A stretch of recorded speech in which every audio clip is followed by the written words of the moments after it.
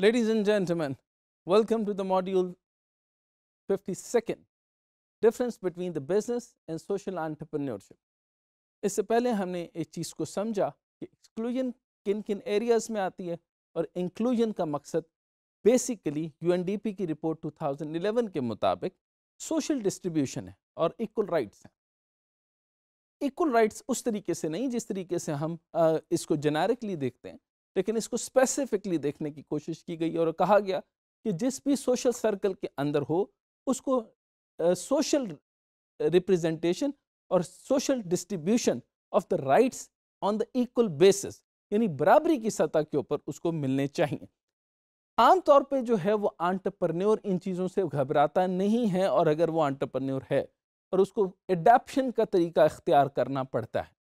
अच्छा अब हम देखते हैं कि डिफरेंस क्या है बिज़नेस एंड सोशल आंटरप्रन्योर देखिए सो बिज़नेस के अंदर जो है वो ये है कि आपका इन्वेस्टमेंट है। आप एक ज़माने से चलते आ रहे हैं, आपकी जागीरें भी चल रही हैं, आपके बिज़नेस भी चल रहे हैं, आप बेसिकली फिर आहिस्ता आहिस्ता सोशल इनपुट की तरफ़ आ जाते हैं और आपके रिटर्न ऑन इन्वेस्टमेंट या आपके बिज़नेस इनिशिएटिव जो हैं वो रिटर्न ऑन इन्वेस्टमेंट के लिहाज से आते हैं। आप कितने सरमायादार हैं, आपने बिज़नेस फेंकना है तो फिर दौलत असर करती है, आपकी ज़ुबान असर नहीं करती। लेकिन सोशल आंट्रप्रन्योर के अंदर ये होता है कि एग्ज़ाम्पल लीजिए, मैं नाम लिए बगैर एक एग्ज़ाम्पल दूँगा, जिसका यूँ आप केस स्टडी यूँ ले लीजिए कि पाकिस्तान का इस वक्त का सबसे बड़ा हाउसिंग के अंदर कोई नाम होगा तो उन्हीं का होगा। तो यूँ मैं नाम लिए बगैर आपको बता दूँगा, यानी आप यूँ समझें कि सबसे पहला जो वो था, यानी वो गरीब थे उम्र 45 के करीब थी कॉन्ट्रैक्टर थे और कॉन्ट्रैक्टर होने की वजह से छोटे मोटे कॉन्ट्रैक्ट उनके वालिद दिया करते थे। एक दिन ऐसा हुआ कि उनको एक सड़क के ऊपर, बड़े गटर्स के ऊपर उनको एक ठेका मिला और उन्होंने कहा कि तुम बना दो, पैसे तुम्हें बाद में दिए जाएँगे। विद इन नो टाइम जो उनका टाइम लाइन था, दस या पंद्रह या बीस दिन जितने भी उनको मिले, उसके अंदर उन्होंने ठेकेदारों से और कॉन्ट्रैक्टर से और बाकी लोगों से बात की, मिस्त्री मजदूरों से। उन्होंने कहा, मैं चार गुना ज़्यादा दूँगा, मेरी ज़ुबान पर यकीन करो। उन्होंने उनकी ज़ुबान पर यकीन किया और उन्होंने वो काम कर दिया और ऐसा हुआ कि ये काम जैसे ही उनकी पेमेंट क्लियर हुई, उनने चार गुना पैसे ज़्यादा दे दिए।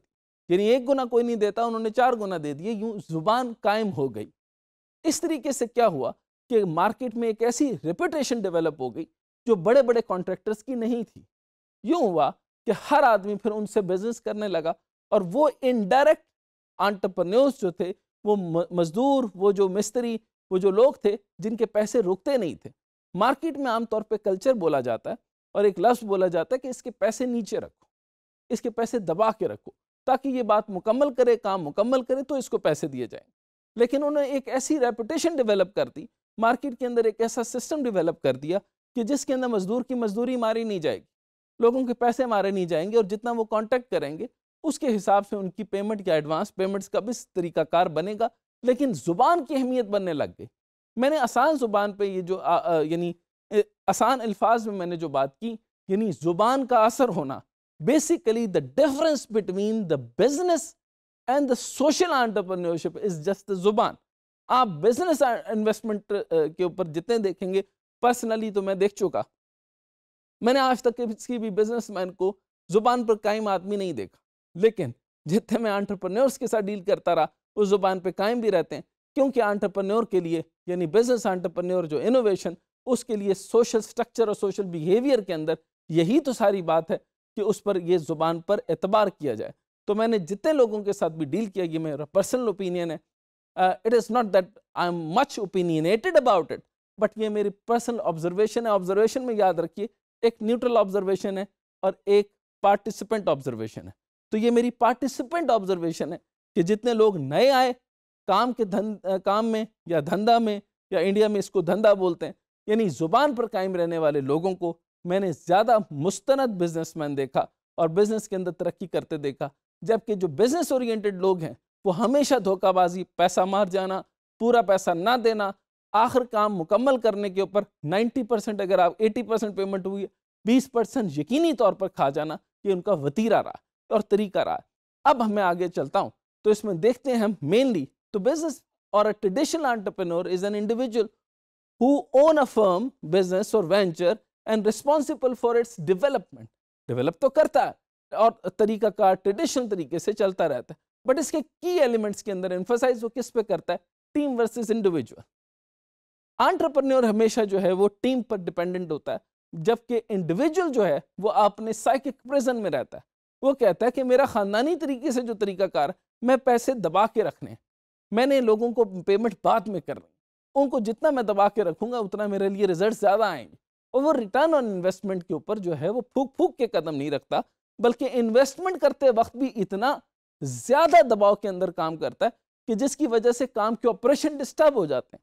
ऑपरेशन और फंक्शनल मामला के अंदर अभी ऑडिट की ज़रूरत नहीं होती जितना वो ऑडिट सख्त कर देते हैं। इसी तरीके से वो उतने भी यानी धनी नहीं होते और गुनी नहीं होते जितने वो अपने आप को समझते हैं।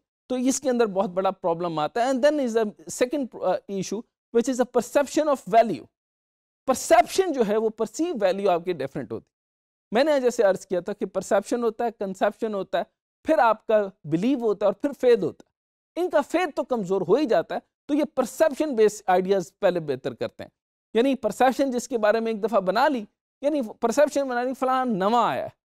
फला नवा आया तो नवे से बिज़नेस नहीं करना, ये इनकी परसेप्शन बन जाती है जो आंट्रप्रनोर के लिए सबसे बड़ी हैंडेंस होती फिर उसके बाद मैयर ऑफ़ प्रॉफिटेबिलिटी आप बिल्कुल कीजिए ब्रेक इवन के अंदर आइए, लेकिन इसके अंदर रिस्क पैटर्न तो चेंज हो जाएँगे। जैसे इन्वायरमेंट डिफरेंट हुई बिज़नेस का डेकोरम चेंज हुआ, जैसे फॉर एग्ज़ाम्पल रिसेंट टाइम में पाकिस्तान में आपने देखा होगा, पहले एक ज़माने में इतनी डॉक्यूमेंटेड इकोनॉमी नहीं होती थी, अब डॉक्यूमेंटेड इकोनॉमी है एफपीआर है, फिर आपको जो है वो आपकी टैक्सेशन आ गई हैं फिर टैक्सेशन आपके ऊपर काफ़ी ज़्यादा स्कोइज होती गई। हर चीज़ आपकी नज़र में है। हर बिजनेसमैन आपकी जो है वो एक गवर्नमेंट के सिस्टम में एफ़ बी आर की मुकम्मल नज़र है। टैक्सेशन की लाइन से आप निकल नहीं सकते। कितने की आप ट्रांजेक्शन कर रहे हैं, कितने की आप नहीं कर रहे। तो जो पहले के हालात थे, वो रिलैक्स थे। अब के हालात आपकी ट्रांजेक्शनल बेस हैं। सो आंट्रप्रन्योर जो है, वो डॉक्यूमेंटेड इकोनॉमी को भी उतना ही समझता है जितनी वो अनडॉक्यूमेंटेड को समझता था। तो सिस्टम में रहकर सिस्टम को अनफॉलो नहीं किया जा सकता। तो पॉइंट ये है कि आपकी प्रॉफिटेबिलिटी यानी ब्रेक इवन तक लाना ये ज़रूरी है, लेकिन उसके बाद measurement of the profitability in terms कि आप कोई वैल्यू पे ऐड ना करें और वैल्यू की डिमांड करें, ये गलत हो जाएगा। आप वैल्यू ऐड करेंगे तो आप वैल्यू की डिमांड कर सकते हैं, अदर अदरवाइज़ आप वैल्यू की डिमांड नहीं कर सकते। So the biggest difference is the businessman never wanted to add a value वो देखता है कि प्रॉफिट कितना होगा यानी मेरा लगे कुछ ना, और रंग चोखा है। आंट्रप्रन्योर कहता है कि वैल्यू ऐड करोगे तो वैल्यू मिलेगी।